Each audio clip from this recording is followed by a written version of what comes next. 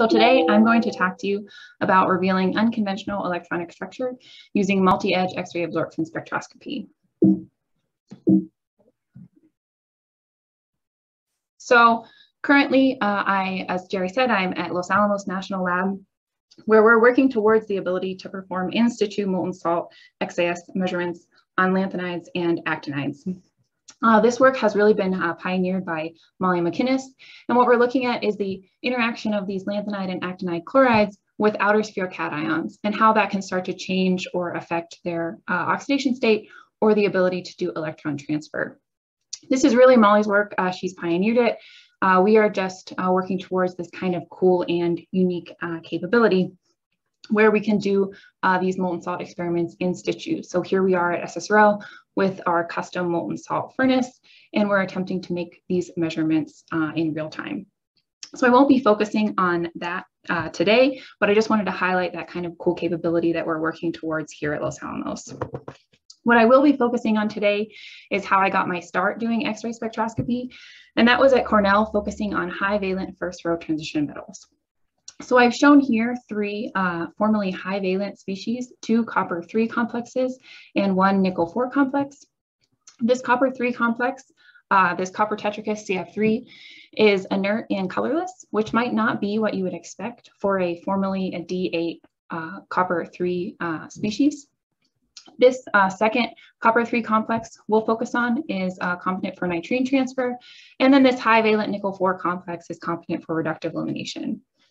And what I'm hoping to show you throughout this talk is that we can start to explain these uh, types of uh, reactivity or lack of reactivity by looking at an inverted ligand field or invoking an inverted ligand field. So if you're not familiar with an inverted ligand field, when we think about a classic uh, Werner ligand field diagram, our ligand atomic orbitals are placed at lower energy, metal atomic orbitals at higher energy, and then when they mix, we're left with molecular orbitals that are largely metal in character. If we start to move away from this classical picture toward ligand field inversion, we simply invert the orderings of our metal atomic orbitals and ligand atomic orbitals, placing the metal atomic orbitals at lower energy, ligand atomic orbitals at higher energy. Now when they mix, we're left with molecular orbitals that are largely ligand in character. So you can think about oxidizing or reducing your species. If you are in fact in this regime of an inverted ligand field, you're really adding and removing those electrons to the ligand as opposed to the metal. So I want to kind of start off this story by focusing on this copper tetrakis CF3 complex. And as we said, this is both inert and colorless. So here it is just stable on the benchtop. You can see it's white. Uh, again, probably not what you would expect for a physically D8 uh, high valent species. We weren't the first uh, people to point out this kind of unique reactivity or stability. Back in 1995, Snyder said uh, maybe this species is better described as D10 or copper 1, as it is non-reactive to nucleophiles and electrophiles, colorless, and bench stable. And if you run a fairly simple TDDF or a fairly simple DFT calculation on this complex and look at this computationally generated molecular orbital diagram, you see that it does suggest this compound has an inverted ligand field, where you find your metal orbitals uh, pulled down to lower energy and filled, and your LUMO only has about 32% copper 3D character. So the question becomes, is it really valid to refer to this complex as physically D8 if we're only missing about 60% of an electron? So we wanted to be able to investigate this more thoroughly uh, experimentally. And while I was at Cornell, I had the privilege of focusing my studies on X-ray absorption spectroscopy. So for this talk, I'll mainly be focusing on metal L-edge XAS, and that is just affecting a transition from the metal 2p up into a, uh, a 3D containing orbital, ligand orbital, or out into the continuum. And this is a really useful uh, technique if we're interested in probing the amount of D character in those acceptor orbitals, because there's a direct relationship uh, between the uh, amount of area under your L3 and 2 main lines and the amount of 3D character in those acceptor orbitals. And that is through this uh, covalency uh, equation shown here. So Ed Solomon's group established this back in 1993, where they looked at two different copper tetrachloride species, one in the D2D geometry and one in the D4H geometry. And as you change that geometry, you start to change the orbital mixing, which causes a different amount of 3D character in those acceptor orbitals and results in a different total L-edge intensity. So you can see you're losing intensity as you move from the D2D down to the D4H, and they were able to correlate that with the experimental copper 3D character as verified by other some other means, in this case, EPR. So we wanted to set out to perform uh, these same types of L-Edge experiments. And in order to do that, we had the privilege of working with a really talented uh, group of um, uh, scientists at SSRL. So a staff scientist, uh, a postdoc, and a really talented graduate student on Beamline 10.1 using their transition edge sensor. So this is just a picture of Beamline 10.1, and here is the transition edge sensor. Uh, it's this large silver cylinder here at the end. And it's basically just a 240 pixel array of microcalorimeters where each pixel is a molybdenum copper sensor. So this whole detector is cooled down to about 100 millikelvin. And then as you excite your sample and photons are deposited uh, onto those pixels, they cause a very small temperature increase followed by a change in resistance. And that change in resistance is proportional to the photon energy. So uh, this uh, detector became really important to us for a couple different reasons. Uh, previous to being able to work with this transition edge sensor, we were typically performing our uh, sample collection in electron yield. Uh, as most of you are probably familiar with, the escape depth of your electrons and electron yield is only about 10 nan nan nanometers. And we were looking at these high valent nickel 4 or copper 3 complexes and what was happening is we were seeing this really significant photo damage. So here we're really just looking at the surface and we can see the surface photo damage is very apparent. So what I've shown is just uh, six scans on the same uh, spot. So no rastering, just hitting the same spot over and over again.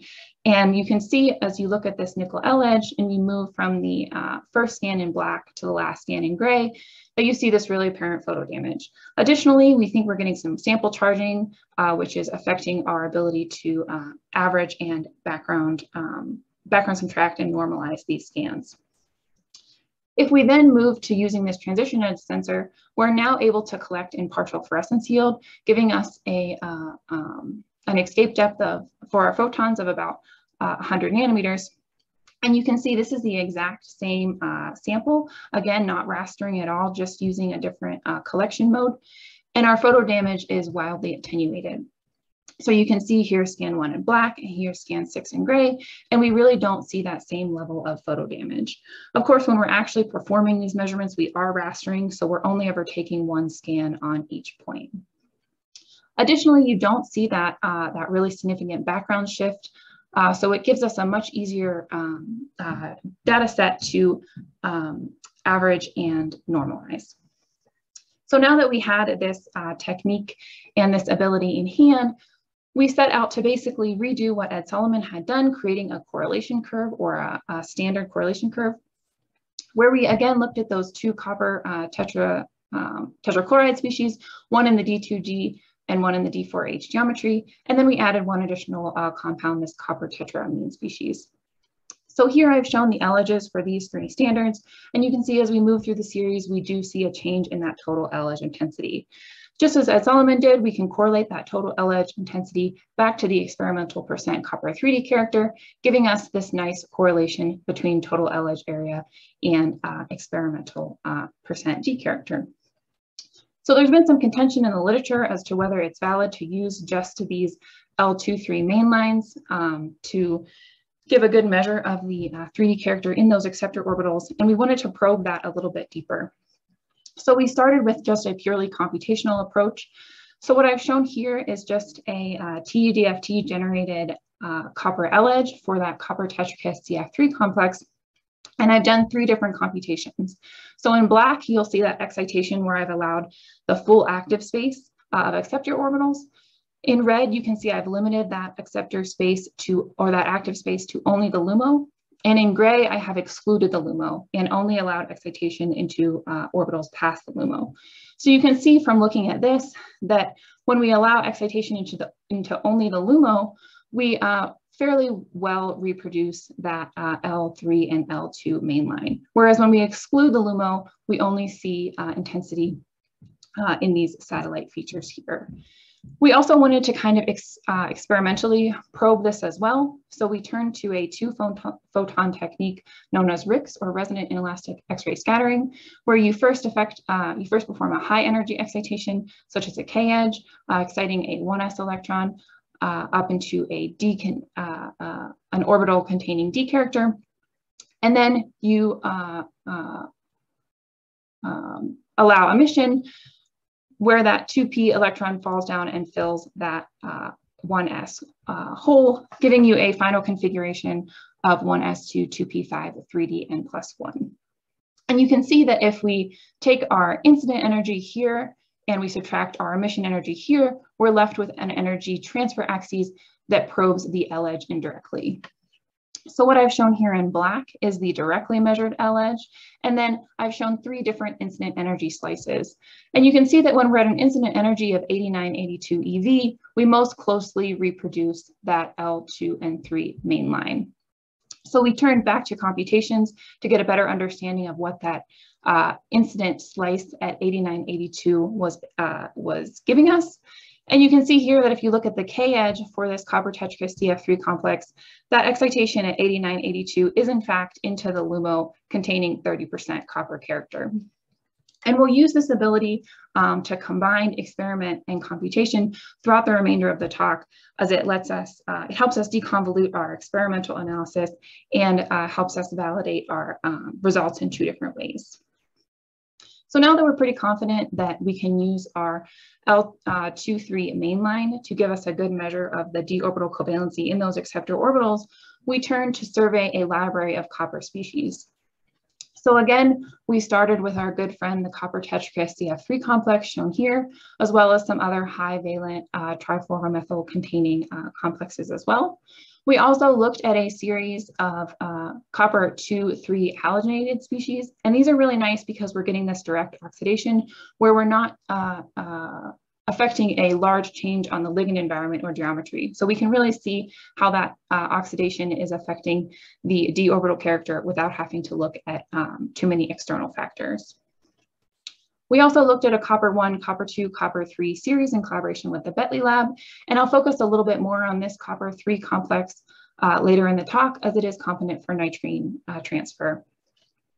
And then finally, we looked at a series of four air-stable nitrogen, sulfur, and oxygen-supported species shown here. So we took these complexes out to SSRL, we took the L edge on them, and then again, we used that correlation curve to uh, correlate the total L edge character back to the experimental percent 3D character. We also did that computational assessment where we uh, uh, computationally generated um, uh, molecular orbital diagrams here and what I've shown is both the calculated percent copper 3D character in black and the experimental percent copper 3D character in blue. And to really just jump to the punchline here, what we find is that all of the copper 3 species that we investigated have frontier orbitals with less than 50% copper character, both experimentally and computationally. And what this allowed, uh, what this correlation between calculated and experimental uh, really did for us was twofold. So on one hand, it uh, helped us validate both our experimental and computational results. And on the other hand, it now gives us a way to run a fairly quick calculation on a complex and correlate that back to the amount of experimental 3D character we would expect in that species as well. So that's exactly what we did. We turned to the literature and we investigated uh, nine additional species reported as early as 1955 and as recently as 2019. So again, now we can run a fairly quick calculation on these species, use our correlation curve and correlate that back to the experimental percent 3D character that we would expect to find in those complexes. Eight out of these nine complexes also uh, present with less than 50% copper 3D character in their acceptor orbitals. The one, uh, I guess you could call exception, is uh, where we looked at copper in its most oxidized state in this uh, hexafluoride complex. And even then, where you would expect those fluoride ligands to be extremely oxidizing, we only find about 60% copper character in the average of the SOMO and the SOMO plus one. So we're still not quite looking like copper 3, but more like copper 2 or even copper 1. So what we really find is that physical copper-3 doesn't seem to exist in any of the systems considered here. Uh, it's not unique to that copper tetrakis CF3 complex, and it's not unique to the uh, selection of complexes that we decided to look at experimentally. It seems to be very prevalent in the literature as well. So with that, I'll pause for the first section and see if there's any questions. I guess I'm Jerry asked me to mo moderate. So um, Wanli, if you care to ask your questions about the parent photo reduction and the uh, partial fluorescence yield. Uh, right. So sorry for us. I think I should not call it photo reduction, Kyle. Uh, the, it's overall a reduction process when the photons, soft X-ray photons, heating the material. So uh, if I look at your PFY, you have a previous slides to show the PFY has no uh, this kind of radiation reduction process. So it looks to me, uh, the spectra, if you scale the spectra, in general, your FY shows a higher oxidation state. That is very typical because on the surface of nickel, uh, it typically shows more nickel 2 plus in almost all nickel type of compounds. So that's why your TFY and TEY, they look generally different. Uh, but what I'm saying is if you scale your PFY spectra, the panel on the right, you will still see a pretty clear signature of the reduction process uh, upon radiation damage. So in, in that, I'm not questioning any of your results, especially I think your first uh, spectra, it looks pretty stable. It looks very much uh, high oxidation state of nickel. I'm just saying, uh, us, it is hard for me to understand why a soft X-ray FY gives less radiation damage. We always see they are the same. If we see it on TY, we always see it on FY. And two is uh, looking at this group of spectra, it looks to me the, the radiation damage is still clearly there uh, in the FY spectra if you if you normalize it. But again, uh, thanks a lot. Very interesting topic, and I'm not questioning any of your results. Yeah. Thank you.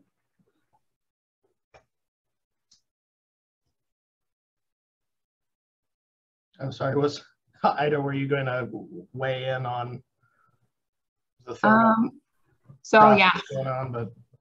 So we had talked about um, uh, the heating being a problem as some of these complexes do uh, uh, perform reductive elimination when heated gently. So even uh, I believe at 55 degrees C over the course of two hours, they'll uh, reductively eliminate. So we did think about um, um, the, the heating being an issue. Um, we also, the TES um, detector gives us the ability to lower our flux quite a bit. So we were hopeful that the lowering of the total flux would also help attenuate that uh, uh, photo damage. So that's one other difference between the, the electron yield and the, the fluorescence yield shown here.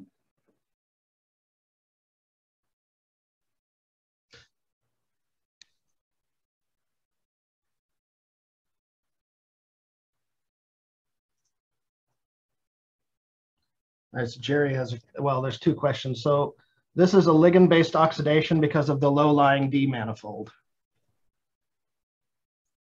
Uh, in the copper species?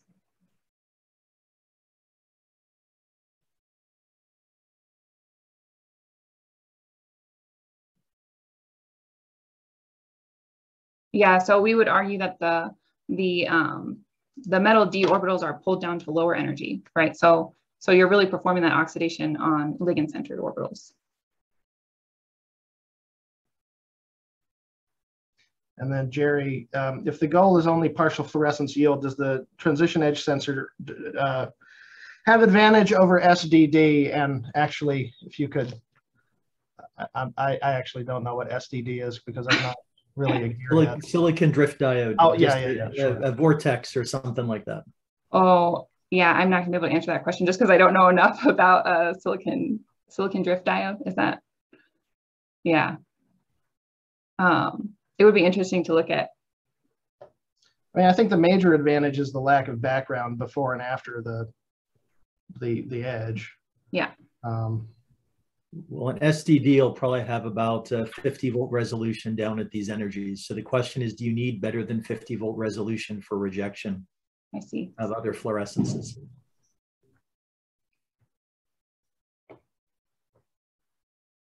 haven't done the haven't done the Pepsi challenge to com- compare the spectra. Yeah. All right, I guess you should continue. Sorry. No, thank you. One more question: Have you considered any possible polarization, say an initial guess with copper two? Sorry, can you repeat the question? Have you considered any possible polarizations, say an initial guess with copper two? Uh,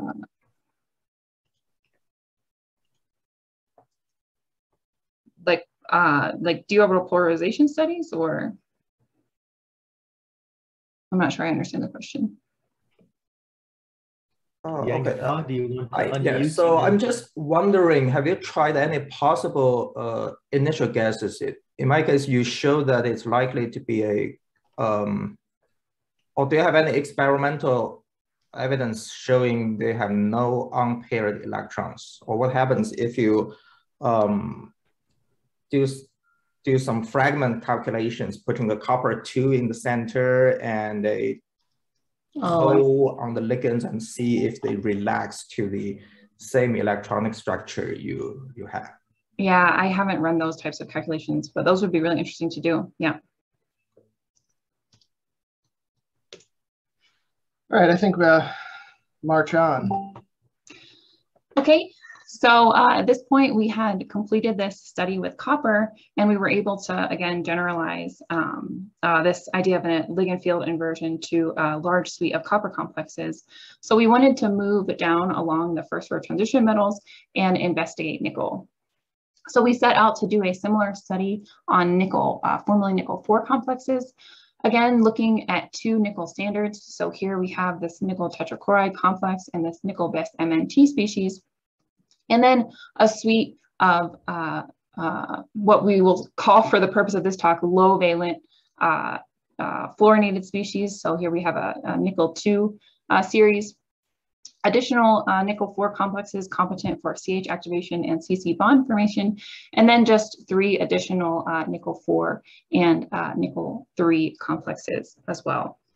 So before I kind of go through the, the higher level analysis that we performed on these complexes, I just want to take a minute and spend the next two slides um, on a more technical aspect of this study that might be more applicable to those of you who are doing these low energy X-ray studies. And that is the phenomenon of saturation. So uh, there's two um, uh, distortions to point out here. One is self-absorption, which occurs when emitted photons are resonantly reabsorbed.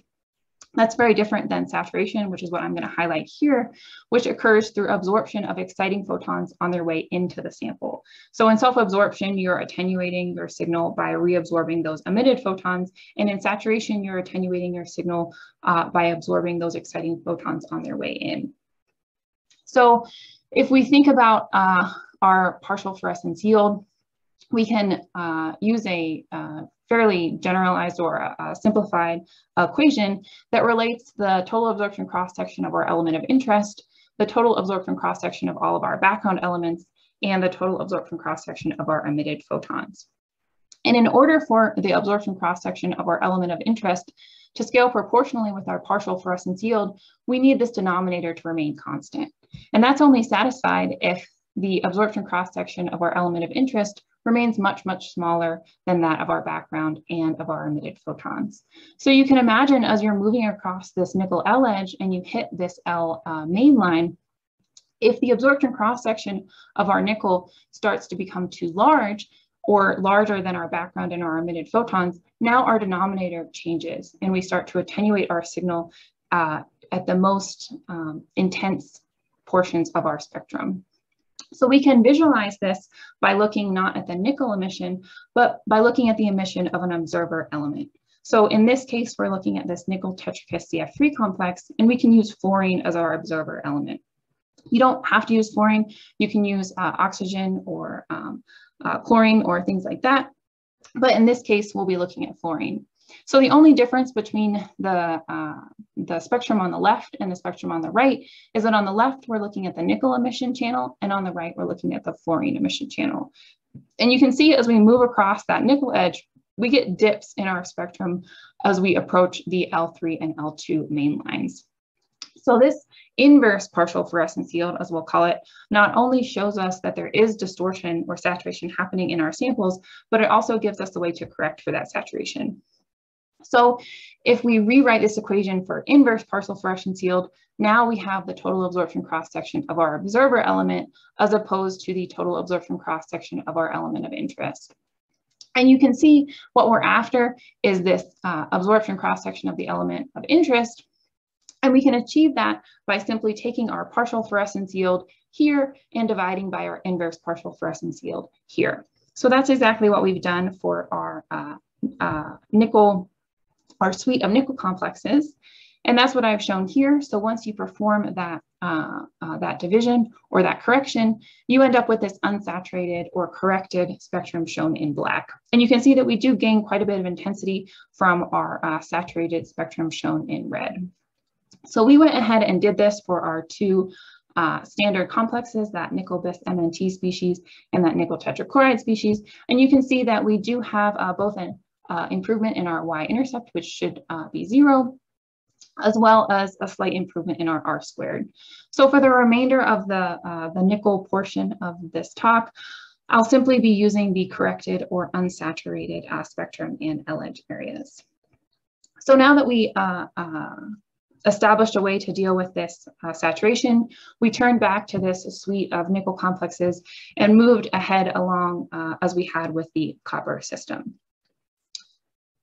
And again, what we find here looking at these nickel 4 complexes is that physical D6 nickel 4 doesn't seem to exist in any of the systems studied. So the only difference here between the nickel and the copper is that now we're looking at a LUMO and a LUMO plus 1. And you can see that our percent nickel 3D character is uh, at a low around 25%, and then at a high in the nickel 4 species, somewhere between 45 and 50%.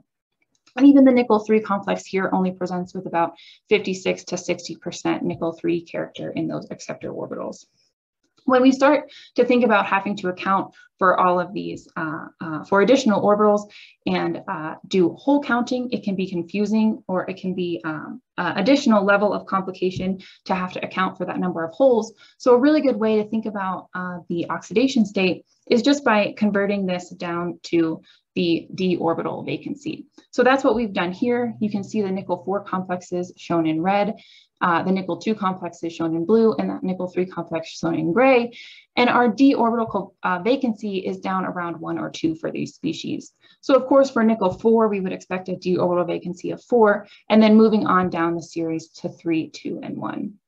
So all of our complexes are looking a lot more like nickel 1 and nickel 2 than they are nickel 3 and nickel 4. We again wanted to extend um, this study to species in the literature. And part of the reason for that is that all of these uh, nickel 4 complexes, or the majority of these nickel 4 complexes that we looked at here, all have these fluorinated uh, ligands. And we wanted to put our nickel in a less uh, less oxidizing environment and do a study on species that did not contain those fluorinated ligands.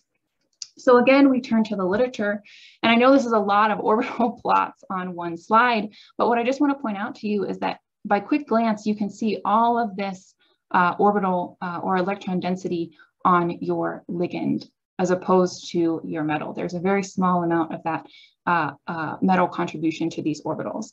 And again, uh, to avoid having to account for how many holes we have in these systems, we can just look at the nickel vacancy. So here we have a nickel 3D vacancy of 1.1 up to a nickel 3D vacancy of 1.8. So again, we're not really looking like nickel 3 or nickel 4, we're looking more like nickel 1 or nickel 2. We wanted to uh, take this to the extreme and again put our nickel in a highly oxidizing environment. So we turned back uh, akin to the copper story to this uh, nickel hexafluoride species. And if you look here at your um, uh, computationally generated uh, molecular orbital diagram, where you would typically find your metal orbitals, we find only 57% uh, nickel 3D character in our unfilled EG set. And that gives us a uh, D vacancy of 2.5 or a D count of 7.5. If you look a little closer at this MO diagram, you'll find um, where we would normally find our conventional ligand um, um, molecular orbitals, we actually find a largely metal-based uh, nickel 3D orbital pulled down to lower energy here. So we are starting to approach that idea of ligand field inversion, where we're seeing those metal orbitals again pulled down to lower energy and our ligand orbitals um, uh, at higher energy. I'll pause again for questions.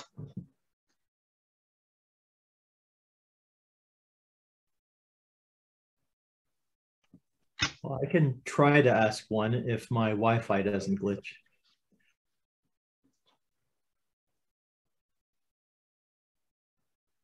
Um, X-ray XES, uh, iron and nickel are listed that often they don't show sensitivity to oxidation state, maybe especially the oxides.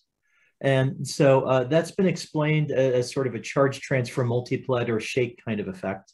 And I'm wondering if uh, the inversion you're talking about um, could explain it also. Uh, I think I missed the very beginning of your uh, statement. So you're saying iron and nickel don't typically show sensitivity in the K shell, like the K beta for uh, nickel oxide or even K alpha for nickel oxide and iron oxides doesn't show a lot of sensitivity to oxidation state. And so if all of the change in oxidation state is actually on the ligand in those systems, right. then you wouldn't expect. You wouldn't expect it. And that's been explained as a charge transfer multiplet effect.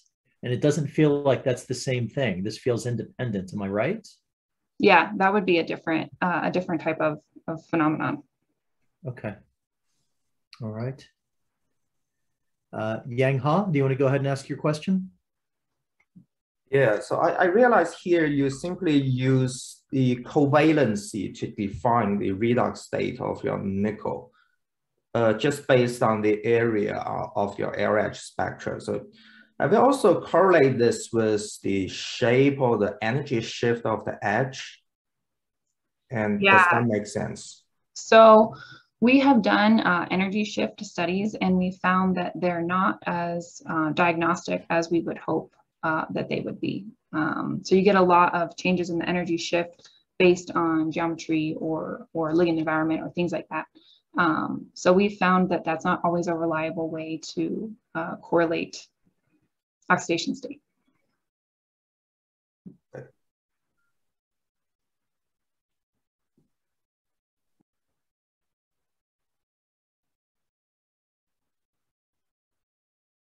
All right, seeing no questions in the chat, you should continue. Okay. Uh, so through the first two sections of this talk, I've shown you uh, what these three copper or what these three high valent species have in common.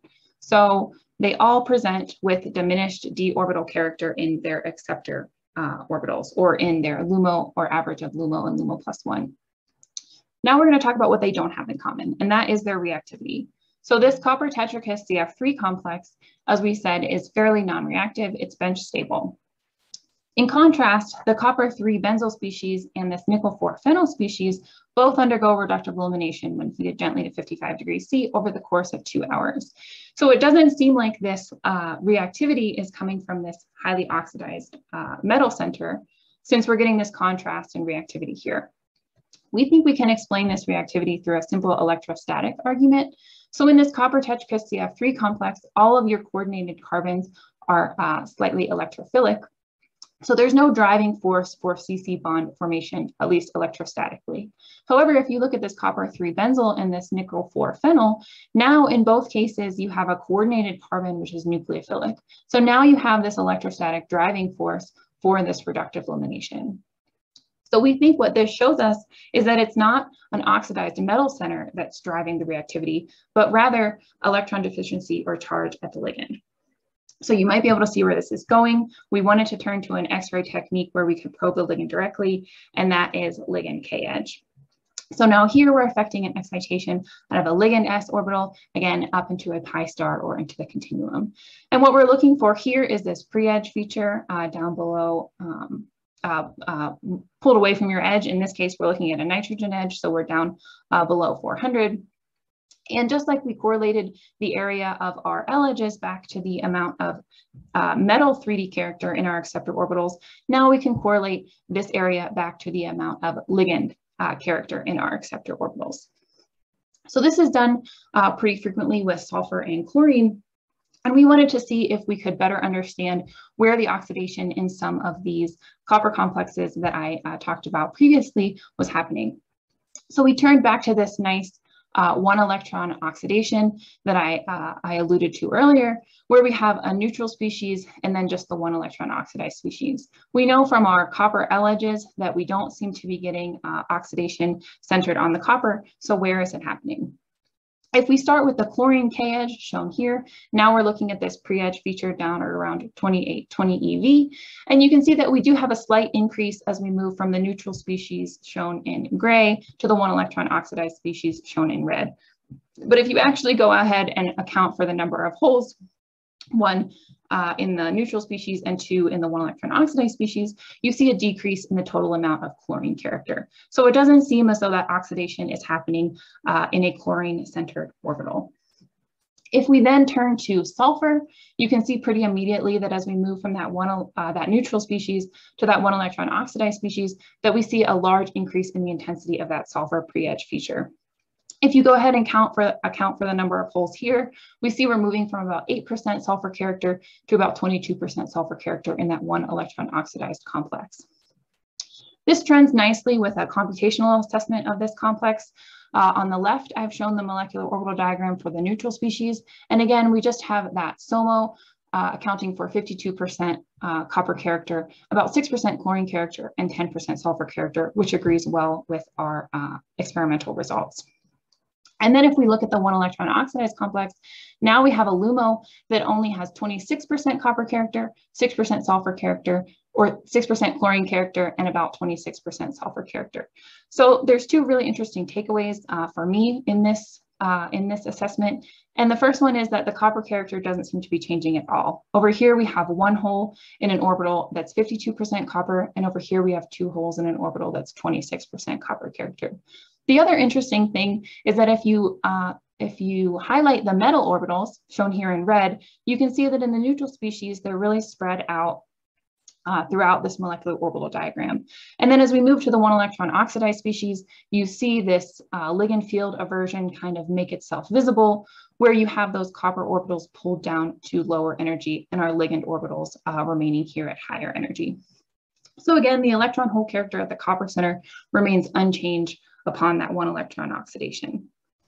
So as I said, uh, the use of sulfur and chlorine uh, uh, K edges in the literature is pretty um, prevalent. You're up here at around an energy of 2500 EV. As you move down towards the lighter atoms such as nitrogen, now you're down at an energy of around 400 EV and it becomes a little bit more difficult to perform these experiments. So we set out to do a full calibration of nitrogen K-edge and again, correlate the amount of area under that pre-edge feature back to the amount of nitrogen character in the acceptor orbitals, and then uh, create this same correlation between experimental percent nitrogen 2p character and calculated percent nitrogen 2p character. So I won't go into detail on this study, but we did perform a comprehensive uh, analysis of 16 nitrogen containing species using two different methods, one where we started with an experimental uh, standard and one where we started with a, a, computational standard. And we were able to really uh, cleanly correlate that calculated percent nitrogen 2p character back to the experimental percent nitrogen 2p character.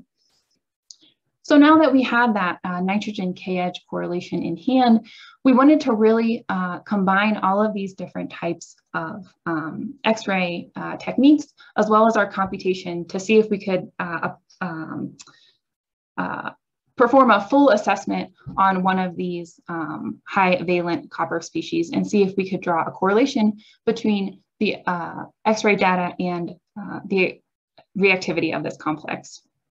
So again, we turn to this copper one, copper three, and or copper two, copper three series uh, that we worked with on the, uh, we worked with the Betley lab. And um, you can see from, or we already established from our uh, copper edges that we're not seeing a large amount of copper oxidation as we move through this series. So here in green, I've shown the copper 1 L edge, and you can see we have very little uh, intensity, which is to be expected for a formally and physically D10 species. Then as we move to the copper 2 species, we do see uh, copper oxidation, again, as to be expected. And then as we move to the copper three, we actually see diminished intensity in that copper three L edge. So we know that that oxidation is not happening at the copper center, and we wanted to understand where uh, in the molecule it was occurring. So we turned uh, to probe the uh, uh charge or electron deficiency at the ligand. And again, we use nitrogen K edge. So here I've shown the nitrogen K edge of the copper one species in green. Again, you're looking for that low energy pre-edge feature. It's completely absent in this copper one, uh, in this copper one scan. But as we move to copper two, we start to see a little bit of ligand oxidation. And then as we move to the copper three complex, we see this very intense pre-edge feature. Another note about this pre-edge feature is this kind of unique splitting here. And we wanted to get a better understanding of uh, where this, uh, exactly where this oxidation was taking place and where that splitting was coming from. So we turned to a SORCI calculation uh, where we um, uh, uh, did a multi-configurational ground state study on this copper complex. And what you can find is that 60% of the ground state is predicted to be a copper 1 nitrene species, where you have two unpaired electrons lying in orthogonal p orbitals. The second most prevalent um, uh, configuration accounts for 25% of that ground state, where you have a copper 2 complex. Uh, what's interesting about this, um, this uh, the majority of this ground state is that the splitting between these two orbitals aligns very well with the splitting that we see here in this pre-edge feature. So we do believe that this uh, complex, the reason that this complex is competent for nitrogen transfer is not because you have a highly oxidized copper center, but because you have a very angry uh, electron deficient nitrogen. Uh, the fact that those unpaired electrons lie in those orthogonal, uh, orthogonal uh, p orbitals also makes them accessible for substrate reaction, allowing uh, a species similar to this one to be competent for nitrogen transfer. So with that, I just wanna kind of close here and say that hopefully I've shown you that physical copper D8 and nickel D6 do not seem to exist in the systems that we've studied. Additionally, ligand field inversion or high levels of covalency um, uh, between these metal and ligand species doesn't seem to be unique and uh, it gives us a really good way to think about uh, uh, oxidation state and reactivity in some of these complexes. So this idea of ligand field inversion can explain why this complex is inert, but why these complexes are competent for reductive elimination or nitrogen transfer. So with that, I would like to take thank my grad school group, uh, obviously Kyle for being such a wonderful mentor and Sam uh, for attending all of those uh, long beamline trips with me. And then my group at LANL uh, for kind of taking me under their wing, uh, especially Stosh Kozimor. He uh, has been a really great mentor getting me started uh, doing X-ray spectroscopy on F elements and just the whole team as uh, a whole for really just exceeding my expectations. And with that, I will take any final questions.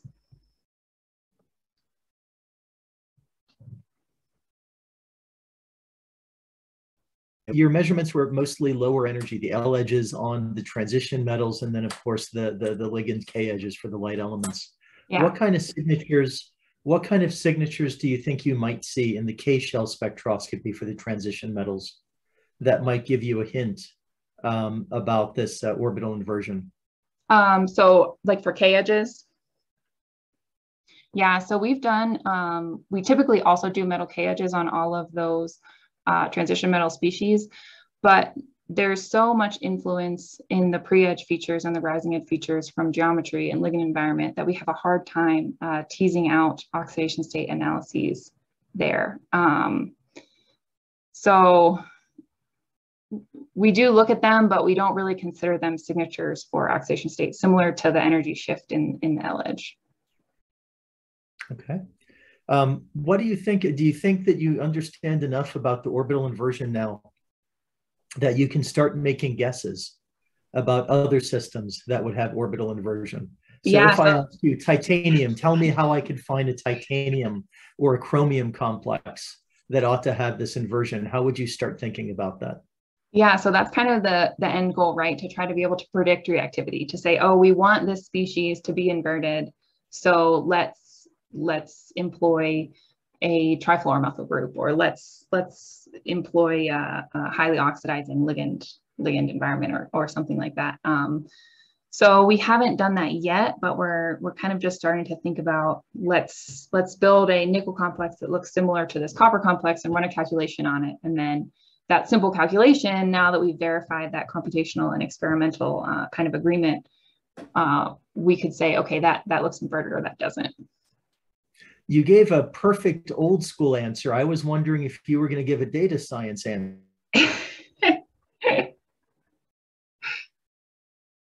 answer. Let's go ahead and make a thousand good guesses, run them all through, and Right. then see if we can train up a neural network to go hunting for orbital inversion. Yeah. Kyle, I mean, any thoughts?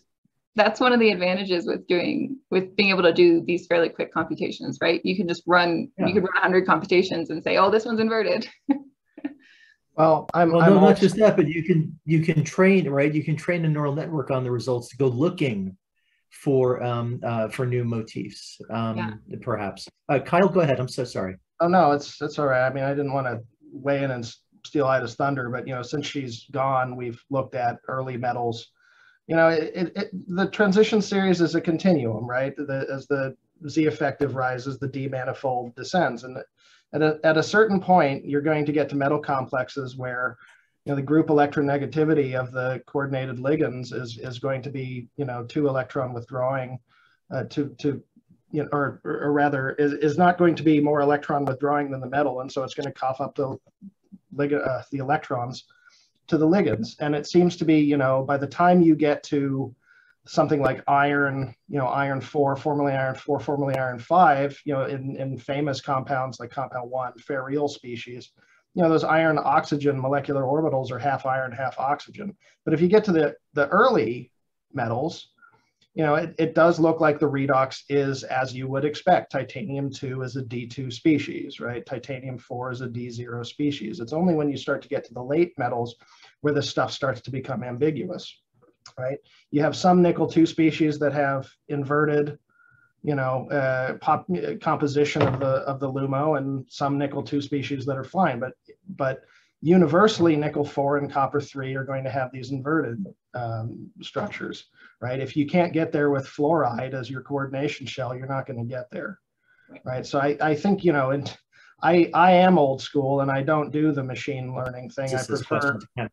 I prefer, you know, chemical intuition, right? And so if you know now that copper three and nickel four are danger Will Robinson, you know, it's, you're not really oxidizing at the metal. The ligands are going to participate more in the chemistry. I find that, you know, sufficiently predictive and useful. Okay. I'll ask a, a, a real physicist question now. Or Stosh, did you go ahead, Stosh? Go. I- I'd love to ask a question. Um, as someone who's lost hundreds of hours searching for nitrogen K-edge signals, uh, I was curious if you, you know, the, the, the data you presented was, was pretty noisy, but um, were you only able to make those measurements using that, that special calorimetry detector on, on, on whatever beamline that is, 10.2 or whatever it is? yeah Uh, or could you, could you see total electron yield?